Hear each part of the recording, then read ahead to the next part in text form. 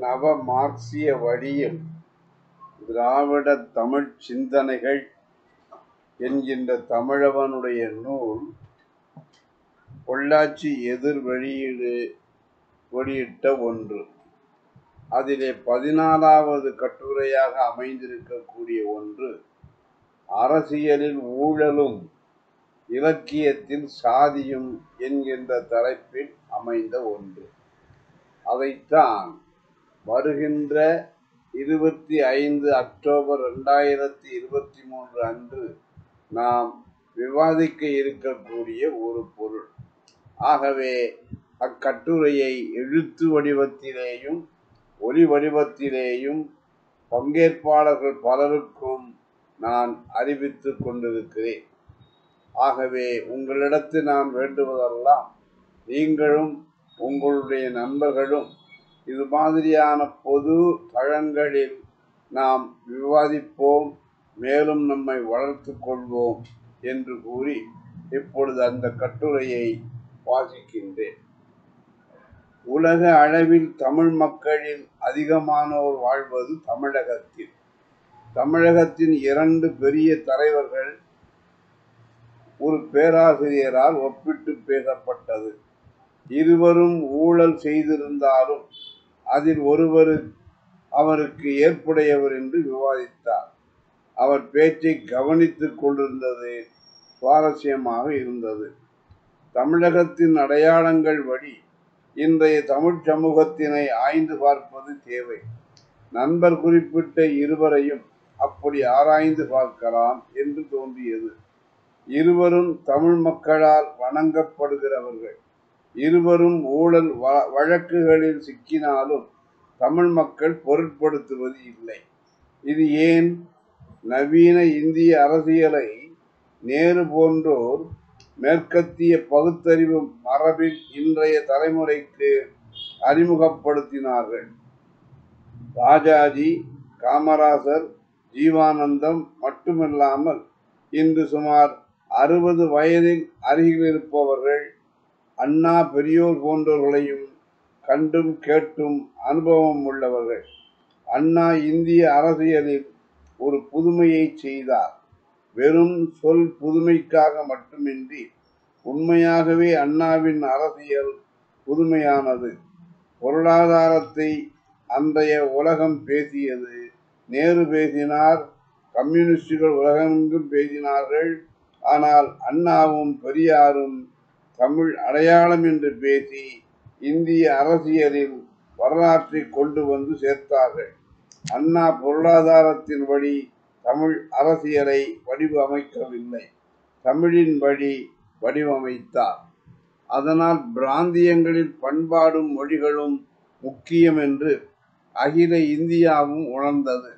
அப்படி தொடங்கி வைத்த இந்த புதிய அரசியல் தத்துவம் இந்தியாவில் எல்லா மாநிலங்களிலும் பரவியது. மகாராஷ்டிராவில் சிவசேனா மூலம் பிராந்திய அரசியல் வந்தது.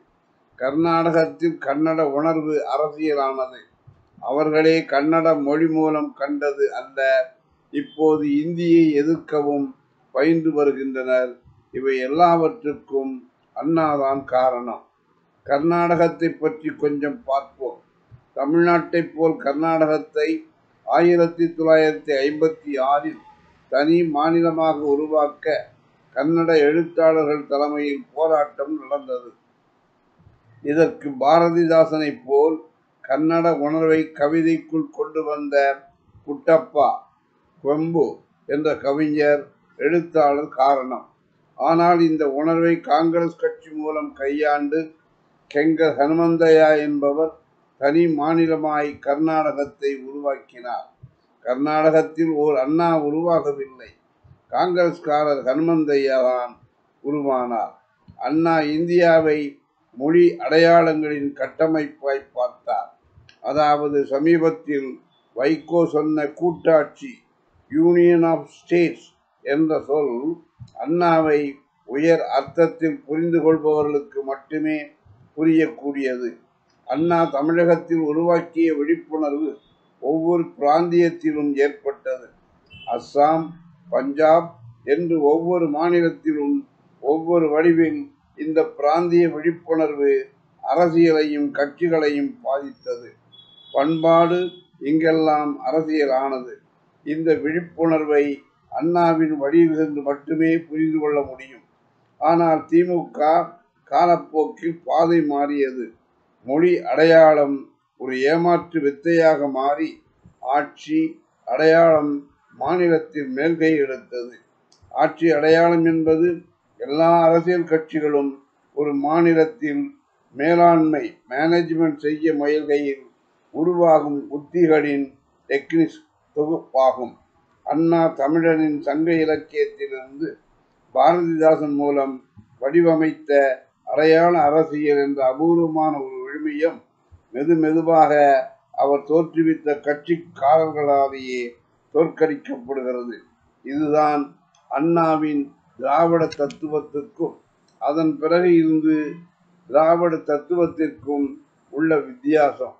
அதாவது ஆட்சி நிர்வாகம் நிதி மாநிலத்தின் கட்டுமானங்கள் நீதித்துறை என்று மாமூல் விஷயங்கள் நேர்மூலம் வந்த ஜனநாயக சோசலிச திட்டமிட்ட பொருளாதார பரிபாலனம் இது.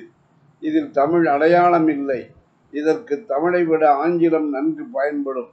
அதனால் ஆங்கிலம் மெதுமெதுவாக மேல்கை எடுத்தது. பள்ளிகளில் தமிழ் மறைந்து ஏழைகள் படிக்கும் பயனற்ற மொழியாக தமிழ் தாழ்ந்தது. அண்ணாவிற்கு பிறகு திராவிட தத்துவம் வீழ்ந்த கதை இது. ஊழல் என்பது இந்த பரிபாலன ஆட்சி முறையோடு இரண்டர கலந்தது. திமுக தோன்றி ஆயிரத்தி தொள்ளாயிரத்தி ஐம்பதுகளில் இருந்த லட்சியத்தாகம் போயே போயிற்று. தொடர்ந்து அண்ணாவின் புதுமையான பிராந்திய இந்திய அரசியலை மேற்கொண்டிருந்தால் வளர்த்திருந்தால் இரண்டாயிரத்தி ஒன்பதில் ஈழத்தில் ஒன்றரை லட்சம் தமிழர்கள் கொல்லப்பட்டிருக்க மாட்டார்கள். நம் தலைவர்கள் மற்றும் எழுத்தாளர்கள் பர்மாவில் பராசக்தி கதை நினைவிருக்கிறதா? விஜய் டிவியில் ஈழத்தில் மலேயா மலேசியாவும் சிங்கப்பூரும் சேர்ந்திருந்த நாடு. அங்கே தமிழர்கள் படும் பாட்டை பற்றி பேசவும் எழுதவும் முற்பட்ட காலகட்டம் அது. அப்போது உதயமான திமுக உலகமெங்கும் தமிழ் உணர்வை பரப்பியது. புதுமைப்பித்தனும் பாரதிதாசனும் தமிழ் உணர்வை புதுமைப்பித்தனின் துன்பக்கேணி அடிப்படையாக வைத்து இலக்கியம் படைக்கிறார்கள். அண்ணாவுக்கு ஆயிரத்தி தொள்ளாயிரத்தி அறுபத்தி ஒன்பதில் மரணம் ஏற்படாமல் இருந்திருந்தால் மாநில சுயாட்சி என்ற தத்துவம் இந்தியாவில் கூட்டாட்சிக்கு வழிவகுத்திருக்கும். கூட்டாட்சி ஏற்பட்டிருந்தால் தமிழக சட்டசபையின் ஈழத்தை பொறுத்து எடுத்த தீர்மானங்கள் இந்திய மைய அரசின் தீர்மானங்களாக ஆகியிருக்கும். அரசியல் சட்டத்தை அதற்கேற்ப மறுவடிப்பு செய்திருக்கலாம். அதாவது தனி நாடு இல்லாமலே தமிழகம் உலக தமிழர்களை காப்பாற்றியிருக்கலாம். தமிழகம் மட்டுமல்ல ஒவ்வொரு மாநிலமும் அதன் அதன் வெளிநாட்டு கொள்கையை அந்தந்த மாநில சட்டசபையில் நிறைவேற்றவும் ஐநாவில் தத்தம் கொடியை ஏற்றவும் முடிந்திருக்கும். உலகில் பல நாடுகளில் இந்த நடைமுறைகள் உள்ளன. அண்ணாவுக்கு பிறகு பரிபாலன அரசியல் முறைக்கு போய் ஊழல் செய்வதிலும் திருடுவதிலும் கவனம் போனது. அண்ணாவின் தமிழ் அடையாள அரசியலானது வழிமாறி போயிற்று. தமிழ் அடையாள அரசியலின் ஒரு முக இந்தி எதிர்ப்பு இன்னொரு முகம் சமஸ்கிருத எதிர்ப்பு. பரிபாலன அரசியல் வந்த பிறகு இந்தி எதிர்ப்பும் சமஸ்கிருத எதிர்ப்பும் நீர்த்து போயின. அதனால்தான் இன்று தமிழகத்தில் வடநாட்டு அரசியல் நுழைவதை தடுக்க முடியவில்லை. இந்தி எதிர்ப்பின் மூலம் ஆட்சிக்கு வந்த திராவிட தத்துவம் சிதைக்கப்பட்டதால் சமீபத்தில் வந்த இந்தி எதிர்ப்பின் ஐம்பதாவது ஆண்டு நினைவு கூட யாருக்கும் இல்லை. தமிழக வரலாற்றை பார்ப்பவர்களுக்கு எம்ஜிஆர் அவர்களின் தோற்றம் இரண்டு விஷயங்களை தெளிவாக்கும். ஒன்று அரசியலில் சினிமா நுழைந்தது. இரண்டு பரிபாலன அரசியல் டில்லி அரசியலின் கையாட்களை தமிழகத்தில் கொண்டு வந்தது.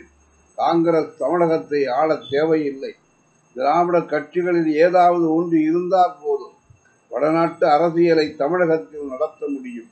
எம்ஜிஆர் என்ற திரைப்பட நடிகர் பற்றி சமீபத்தில் மறைந்த எம்எஸ்எஸ் பாண்டியன் ஆய்வு செய்தார். அந்த நூல் என்னை கவரவில்லை. எம்ஜிஆர் பற்றிய ஆராய்ச்சி திராவிட தத்துவம் எப்படி தன்னை மாற்றியது எப்படி டெல்லி அரசியலின் முகமூடியானது என்பதை கூற வேண்டும்.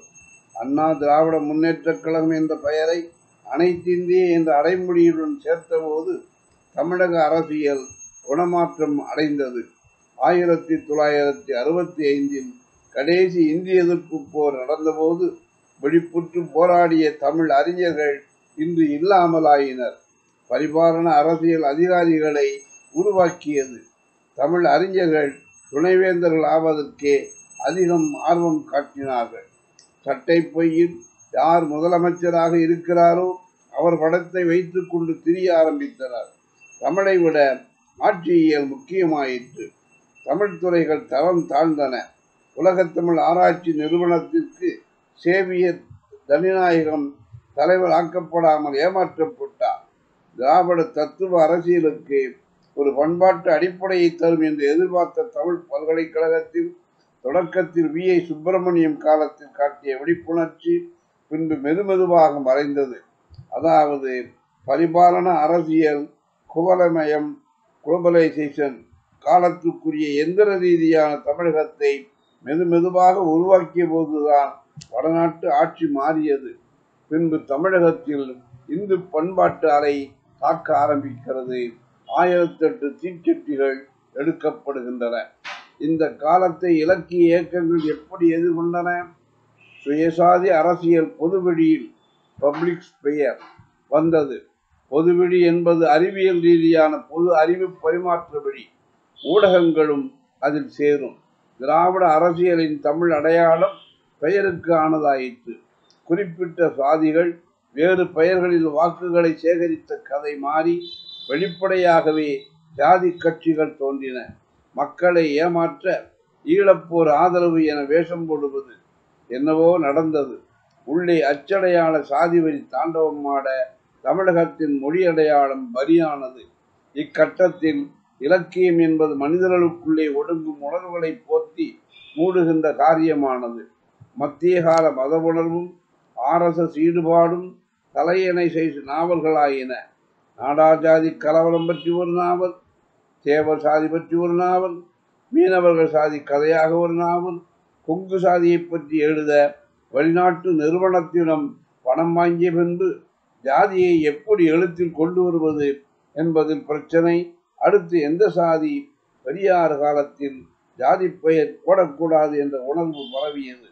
இந்தியாவில் கவுடா என்றும் அகர்வால் என்றும் நாயர் என்றும் பெயர்கள் பிரபலமான போது தமிழகத்தில் ஜாதி பெயர்கள் போடுவது அவமானம் என்னும் ஓர் உளவியல் பரவியது.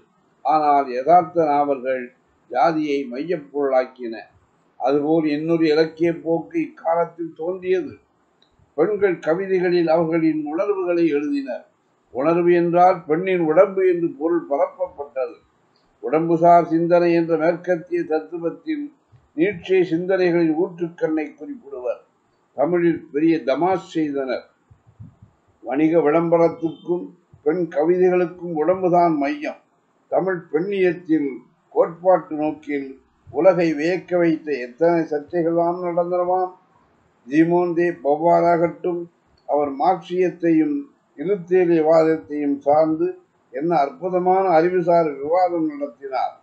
நம் பெண் அறிவுஜீவிகளுக்கு உடல் சார்ந்து மட்டுமே கவிதை எழுதும் பெண்மை பற்றிய விழிப்புணர்வு வந்தது. கவனிக்கும்படியான எந்த அறிவியல் சார் விவாதமும் பெண்களின் முன்வைப்பிலிருந்து முனைப்பிலிருந்து தோன்றவில்லை. அதாவது தமிழகத்தின் சரித்திரத்தை இந்த மொழி வழி வெளிப்படல்கள் மூலமும் அதன் கட்டுதல் வழியும் அறிய முடியும். அதற்கான முயற்சி இது. ஒட்டுமொத்தத்தில் புறவயமாய் நின்று ஆராயும் அப்ஜெக்டிவ் விசாரிப்பு மரபு கேள்வி செய்யப்பட்டு ஒதுக்கப்பட்டதில்தான் பிரச்சனை உள்ளது. அறிவு ரீதியாக ஒரு படைப்பை பற்றி பேசும்போது இது கோட்பாடு. நாங்கள் பத்தரை மாற்று கலைஞர்கள் என்று பரிதாபத்திற்குரிய குரல் தமிழில் எப்போது வந்ததோ அப்போதே விசாரிப்பு மனம் என்கொயரி மைண்ட் விடைபெற ஆரம்பித்து விட்டது. ஒடுங்கி போகும் கூட்டு குரல் மட்டும் கடைசி விசும்பலாய் கேட்கிறது.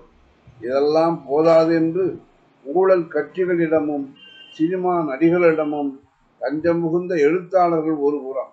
இதற்கு விசாரம் என்று அன்றைய தமிழில் காணாசு சொன்ன விசாரிப்பு மரபு நம்மை விட்டு அகன்றதுதான் காரணம். இன்று ஊழல் செய்பவர்களை மையமாக கொண்ட தமிழ் அரசியல் சா சிந்தனையானது பண்பாட்டு சிந்தனையாய் நடைபெறுகின்றது. தமிழில் எழுத்தாளர்கள் ஏதாவது ஒரு கட்சிக்காக பேசுகின்றனர். தொலைக்காட்சி விவாதங்களில் ஊழல் இருக்கத்தான் செய்யும் என்ற மனோநிலை அரசியல் உணர்வாகிவிட்டது. அண்ணா தமிழ் அடையாள அரசியலை கொண்டு வந்து இந்திய வடி வடிவமைப்பை மாற்ற முயன்றார் அவர் காலத்துக்கு பின்பு அந்த திமுக மறைந்து விட்டது ஊழலோடு மதவாதம் கலக்க ஆரம்பித்து விட்டது ஊழலை தூய்மைப்படுத்தும் மனநிலை பக்தி நிலையாகிறது. ஊழல் என்ற அரசியல் துறையின் அசுத்தமானது மதவழியில் சுத்தம் செய்யப்படுகிறது. தமிழினத்தின் இன்றைய அடிமை வாழ்வு ஒரு வட்டத்தில் முழுசாய் ஒரு சுற்று சுழன்று விட்டது. கூப்பாரா ஒரு கதையில் விடியுமா என்று கேட்பார். அதே கேள்விதான் இங்கும்.